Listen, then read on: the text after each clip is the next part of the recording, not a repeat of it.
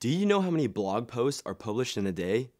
Yeah, me either. I'm totally kidding. According to TechJury, this article I found said that 4.4 million blog posts were published every day in 2019. With all that content circulating on YouTube, Facebook, Instagram, blog posts, articles, podcasts, books, and every other source or medium out there on the internet, it's important that we don't fall into this idea or this belief of a collector's fallacy. As I've mentioned before in this channel, the collector's fallacy is this idea or belief that we get in our heads that because you plan or I plan to read X number of articles per week or X number of books per year, that we are actually getting smarter because we're reading books, we're reading articles, or we're listening to podcasts. The problem is, you don't actually get smarter. You can't retain information if you don't actually process it and write out your own thoughts and ideas and make different connections from one podcast to a book or one article to a YouTube video that you read. If you don't get in the habit of processing these ideas and developing them and connecting them and interleaving them to other ideas,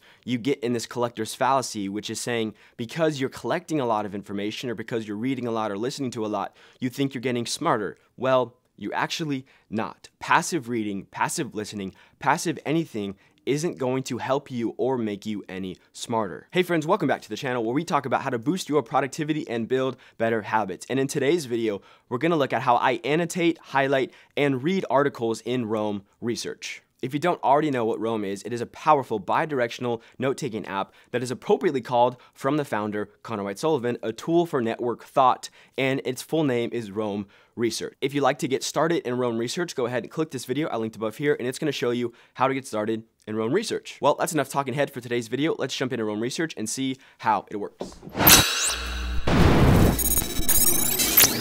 The first thing to do is make your way to a master blog post page. If you don't have one, create one.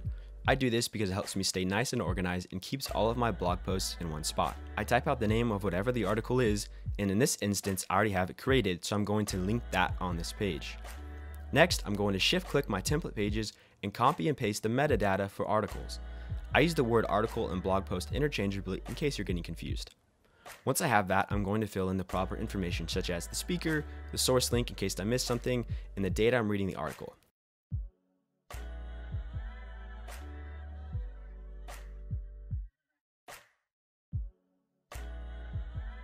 And that's it. Skip over the keywords and notes for now, and open or navigate in Chrome or Safari to the tab with the article.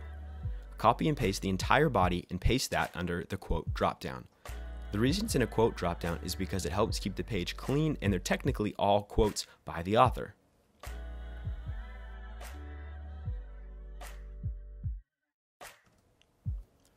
I then shift click the article heading to open the exact same page in the sidebar and now that we have everything set up, let's begin reading. I start from the middle of the blog post and read to the end because it helps retain information better. I'm totally kidding. I don't, but I bet there are people out there who would believe that. On one side, you're going to read the article, and on the other, you're going to write notes and jot down any keywords. Try to write notes in your own words as best as you can, but you can either alt drag or copy the block reference of the original block into the notes section under an indent to keep references.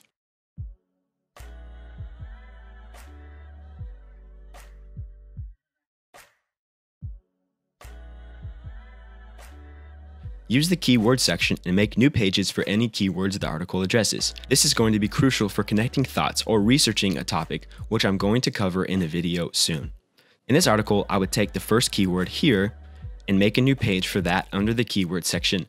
You can either choose to open that page in the sidebar with shift plus click and jot down a definition now, but I typically wait until I finish the article because I don't want to interrupt the flow of the article or get distracted.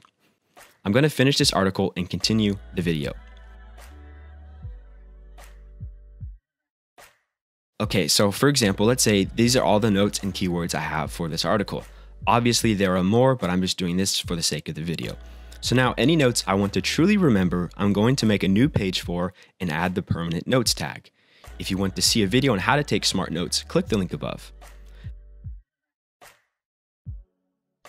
Next, I'm going to add definitions inside of each keyword page. And then once I feel like I've truly understood what the article is talking about and the keywords it addresses, I'm going to go ahead and call it a day. The process to dive deep and fully research a topic is a little bit different than this one, which I'm going to be covering soon in a new video. This is just for standalone blog posts. Well, that is it for today's video. That is how I take notes and process articles in Roam Research. And if you like today's video, I want to say go ahead subscribe to my weekly newsletter. Every Friday, I send out tips on how to boost your productivity, build better habits, a little update in what's going on in the world of technology, plus a book, article, or podcast I found interesting that week. The link to that is in the description below. If you like this video, go ahead and give it a thumbs up, subscribe, and hit the bell so you get notified when I post a new video. Thanks so much for watching, and I hope to see you in the next one.